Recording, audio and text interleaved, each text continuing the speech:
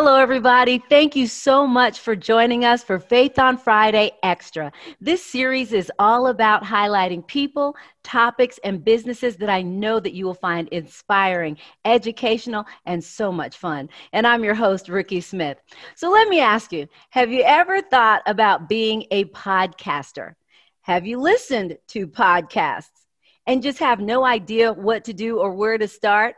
Well, have I got a treat for you today? Let me introduce you to Euri Giles. Euri is a podcaster, and his podcast, and Euri, you're going to have to help me to make sure I get it right, is called Allow Me to Clarify. Is that correct?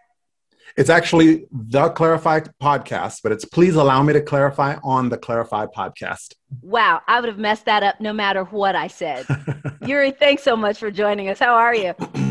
I'm doing great today, Rikki. How are you? I'm doing well. Thanks so much for asking. So, you're we've got a lot of people who are out there interested in becoming podcasters. First of all, tell me what got you into doing a podcast. Well, I, I guess it'll have to be um, just storytelling. Really, is what got me interested. I, you know, I was a big fan and subscriber to numerous podcasts, and for many years I've been writing. I've been writing down, you know, personal stories. I've been writing down stories that I shared about my about my father, about his battle with Alzheimer's. That's what really got me into writing. And you know, I found the medium of podcasting, and I thought it was interesting. And I said, "Hmm, I wonder if I could do that." And it was one of those things where I just kind of gave it a shot. You know, I just always felt like, for me, I always felt like I was a very introverted person, mm-hmm. and it was easier for me to write things down than it was for me to to say them out loud or to speak them out loud. But for some reason or another, uh, I was just really intrigued by podcasting. And I think one of the things is that I didn't really have to do a whole lot of the talking. I asked the questions and then just listen to the responses and help people share their stories and give them a platform to share and tell those stories. But I've always been intrigued by the storytelling aspect of human interaction of meeting right. people and connecting with people, whether it be in my work life and personal life, whatever it may be, just listening to those personal stories. So well, there's your, many your different dad, types of. Yeah, go ahead. You said your dad's struggle was what got you into writing things down. Can you talk a little bit about that? Yeah, definitely. So my dad um, is his name is Clarence Giles, and uh, he was diagnosed with Alzheimer's back in 2012. Mm. And uh, my dad was a writer and he wrote for magazines he wrote poetry he wrote for technical um, oh. technical articles things like that for texas monthly and different publications. Um, he was a freelance journalist. He was the first black reporter at the el paso times. Wow. Um, yeah so he he was a, a writer by trade and profession. Mm-hmm. And once he started suffering from Alzheimer's, or right around the time he started his battle with Alzheimer's, he wanted me to create a blog for him. He knew that I was inc- technically inclined to creating a blog using WordPress, using different things. And he says, Hey, can you help me out with this? We were never really able to get that going for him mm. because the disease was already slowing him down. It was, right. you know, taking his memories from him, his thoughts. He wasn't able to focus, right? Mm-hmm. And so, just that whole experience and going through it, again, it was easier for me to write about my emotions and my feelings and things that I wanted to rem- remember about him. Mm-hmm. So I mm-hmm. started writing uh, then. I mean, yeah, I had written a little bit in college, I had written right. whatever was required of me in school, but I never really considered myself to be a, a quote unquote writer. Right? right, right. But that's really what got me into it is I want to be like my dad. I want to finish some of the things that he started. Sure. And good or not, I was just going to go for it. Uh, my right. intent wasn't to share it initially. Mm-hmm. It was mm-hmm. just kind of to do it for therapy and for my own peace of mind. Right. Um, but I mean, that was that was almost 10 years ago now. So my gosh. So how long have you had the podcast now? I've only had the podcast uh, since last year. So it's wow. only been a year now. So mm-hmm. like I said, it's really Clareifi my brand is really uh, been around for a while, sure. but in the podcast format, it's mm-hmm. only been uh, you know recently new or relatively new, I should say, within the past year.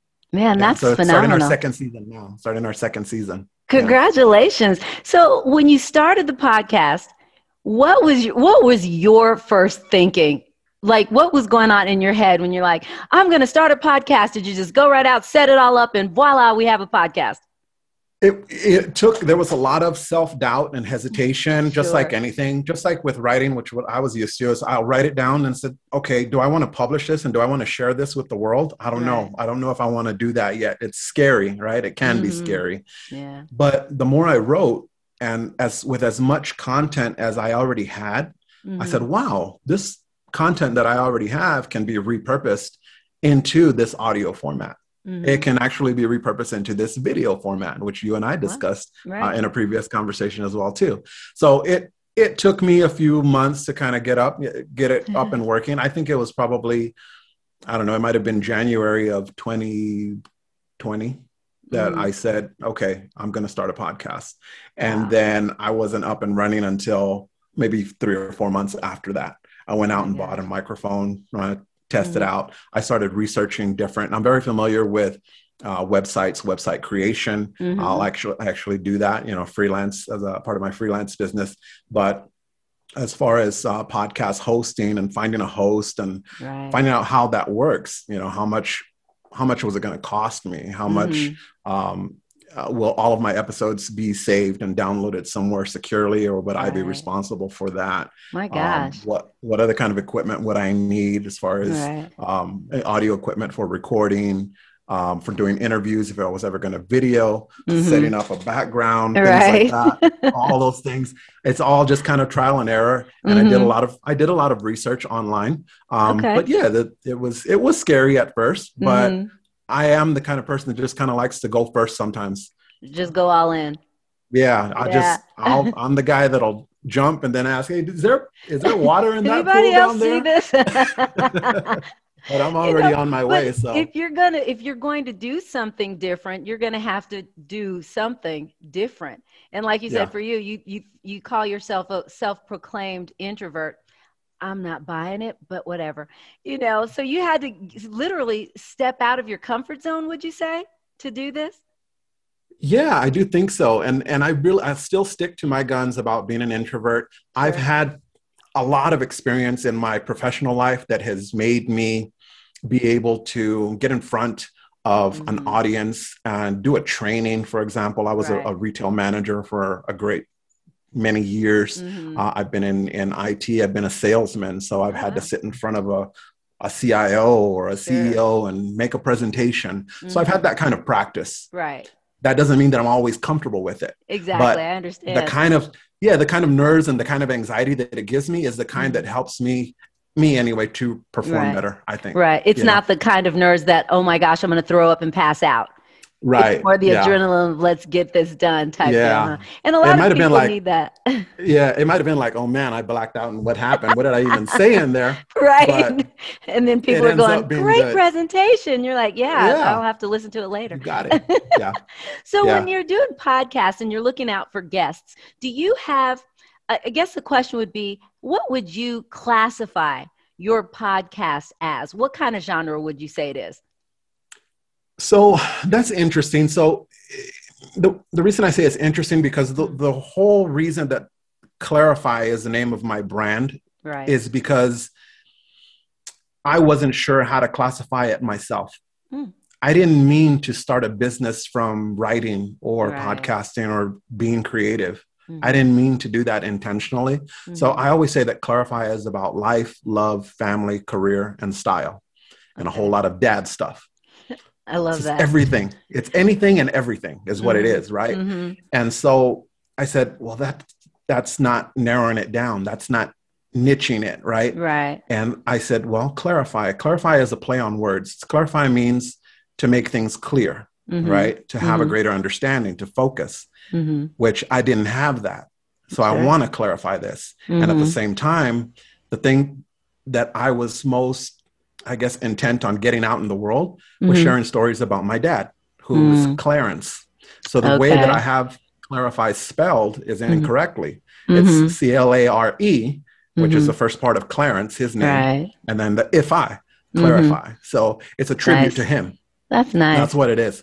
So. I say that it's for creatives, it's for entrepreneurs, it's Mhm. for writers, it's for artists, it's for musicians, it's for all of the Oh, things wow. that my my dad was because Mhm. he was so many different things. wow, and true what I've come to Renaissance man, out- huh? Yeah, what I've come to Mhm. find out is I'm so am I, Wow, you know, that's all good. of those different things. So it sounds like you're learning a lot about yourself in this as well.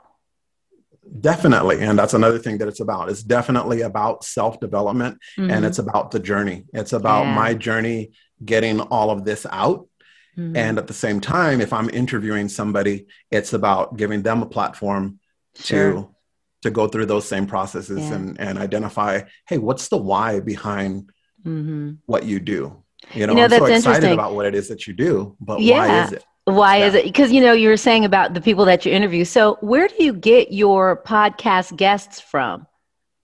So from a variety of places, you know. So um, I try to be very active on social media. So Mhm. I'm very active on Twitter, and so I think that's a great community. And there's a Mhm. lot of interaction if it's if it's Sure. done right. You know, it can be done Mhm. right.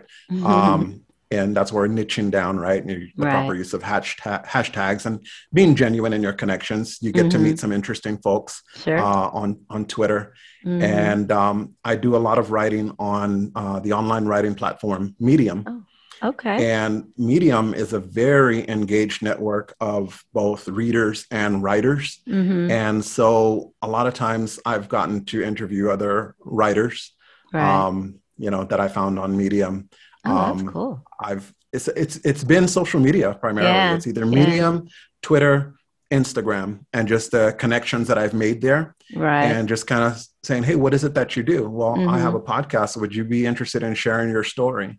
wow. And they say, "Sure, I'd love to share my story." And That's even if their intent at first is like, "I want to share my story about my business," Mhm. or or whatever it is, Mhm. there always comes down to this kind of element when I'm speaking to somebody where we find that other connection Mhm. and that's what I really love. Yeah, that's where you drill it down to. I think that's so awesome. And full disclosure, y'all, I actually reached out to Euri on that medium, and he was gracious enough to allow me to be a guest on his podcast, which was so fun, by the way. So, It was it, It was, was a great time.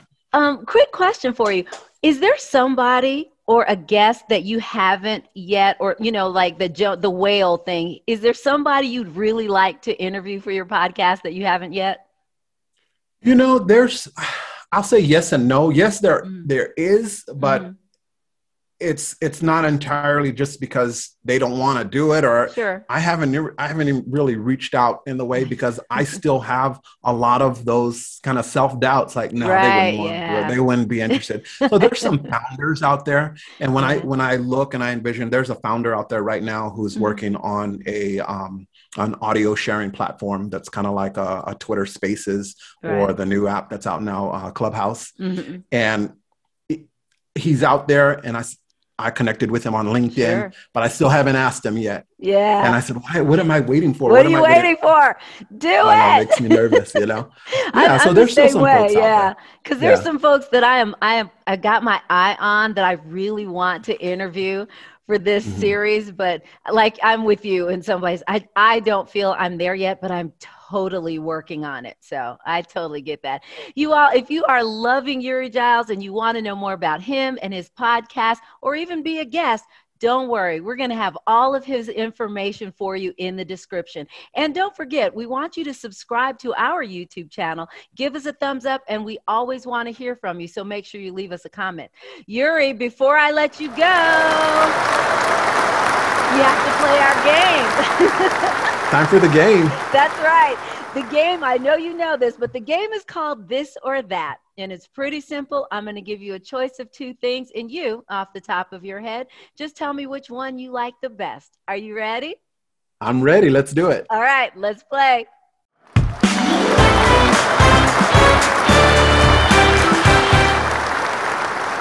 Android or iPhone? Oh, iPhone all the way. I'm an Apple guy.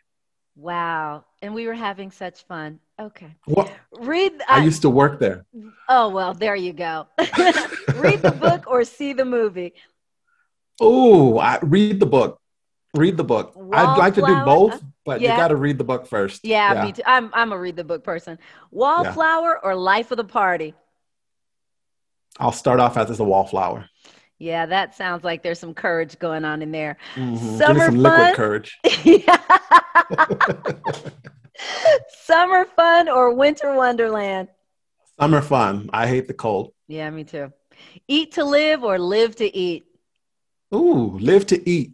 Me too. My gosh. Mhm. Out in nature or in the house? Out in nature when it's, it's safe. It's, it should be safe in nature. Sure, Out in I nature. think so. I agree. Mhm. Coke or Pepsi? Coke. Neither really, but Yeah, me neither. cherry Coke maybe. Dr. Pepper. Dr. Pepper. I've had more people say Dr. Pepper. What is that all about? I don't drink a lot of soda, but yeah, Yeah. If, I, if I have to, I'll just I said, a, I'll, a ginger ale even yeah, better I'd than rather Dr. have ginger Pepper. ale myself. I'm a ginger mm-hmm. ale fan. Ride or drive? Drive. I have to be in control. that is a whole nother interview, sir. I like sports or I don't care. I like sports. Yeah, me too. Okay. And when you were in high school, what was your first job? Oh, yeah, I didn't actually work in high school. I was right out of high school, but I Mhm. worked as uh, inventory um, counter. Yeah, One of those. It was uh, RGIS. You know, people go into the retail stores like late at night and Mm, and take inventory. But it was right after I got out of high school, and that was my Wow. first job ever. And Yeah. that's when you went to college right after that because you thought this ain't it. Yeah, yeah. I was already. I had already enrolled early in summer school, so Oh, that's so funny. Euri, Yeah. thank you so much for your time. You have been an absolute delight. And nobody after this is going to believe that you are an introvert, just so you know. all right, had a great time. everybody. Thank you. No problem. Thank you all so much for watching, and we'll see you next time on Extra.